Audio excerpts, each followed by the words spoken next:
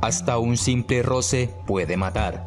Las Vishakanyas eran supuestamente venenosas jóvenes que actuaban como ejecutoras en la antigua India. Cualquier contacto con estas tóxicas mujeres significaba la muerte. No obstante, nadie puede decir con certeza dónde acaba la verdad y dónde empieza el mito en cuanto a la realidad histórica de estas venenosas asesinas.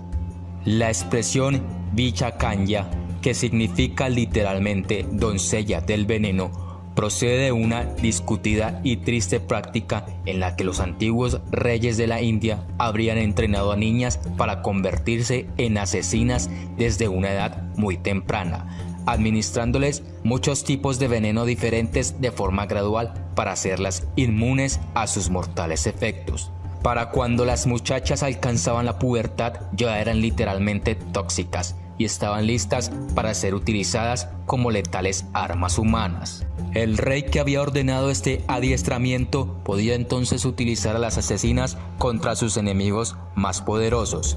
Cuenta la leyenda que Aristóteles advirtió a Alejandro Magno sobre los peligros de tales vírgenes venenosas antes de que el famoso rey macedonio emprendiera su campaña en la India. Otra leyenda india sugiere incluso que Alejandro Magno murió a consecuencia del abrazo de una Vishakanya, que le fue otorgada como trofeo por el derrotado rey Porus. Las Vishakanyas son mencionadas por primera vez en el Arthashastra, un tratado de la antigua India sobre el arte del buen gobierno escrito por Chanakya, consejero y primer ministro del primer emperador de la dinastía Maurya, Maurya Chandragupta.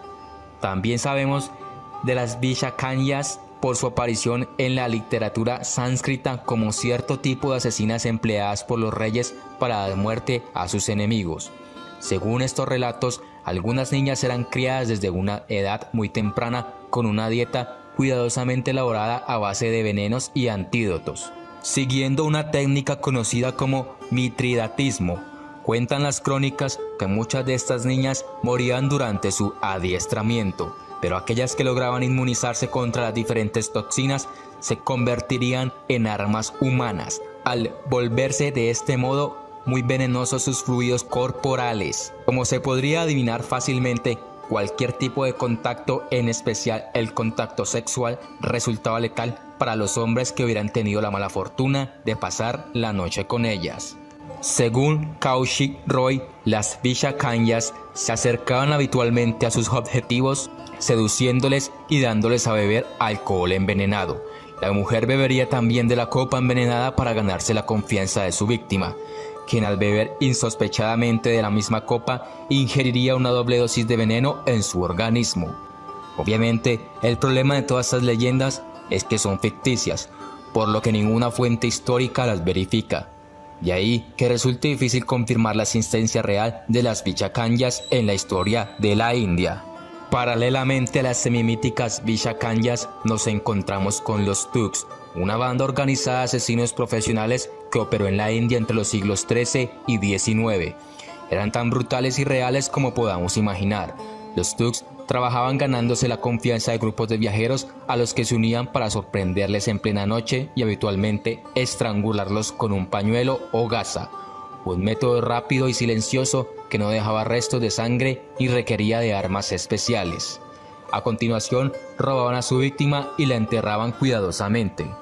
Los crímenes de los Tugs implicaban un alto grado de trabajo en equipo y coordinación, tanto durante la fase de infiltración como en el momento del ataque.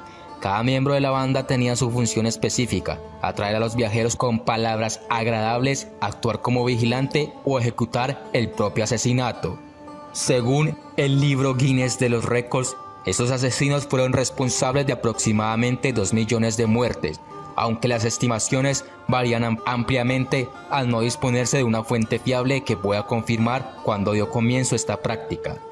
La primera mención conocida de los Tugs como grupo organizado diferente de los ladrones ordinarios aparece en la historia de Firuz Shah, obra de Silla Uddin Barani, datada en torno al 1356. La pertenencia a la fraternidad de los Tux a menudo seguía una línea hereditaria, pasando de padres a hijos. Algunos de ellos eran entrenados por un gurú a modo de aprendices o intentaban unirse a otros Tux con la esperanza de ser reclutados. En ocasiones, los hijos de los viajeros asesinados eran criados por los propios Tux y se convertían ellos mismos en Tux, ya que la presencia de niños ayudaba a disipar muchas sospechas.